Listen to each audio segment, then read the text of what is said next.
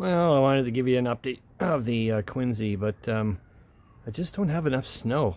Um, and we also had like uh, that layer underneath there.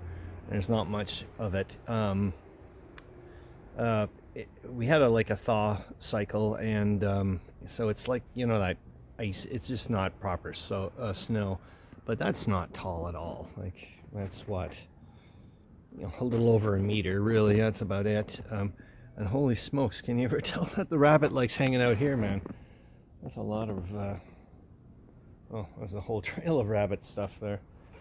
Rabbit pellets, I guess. Anyway, so, uh, yeah, I'm going to need a, another snow uh, dumping.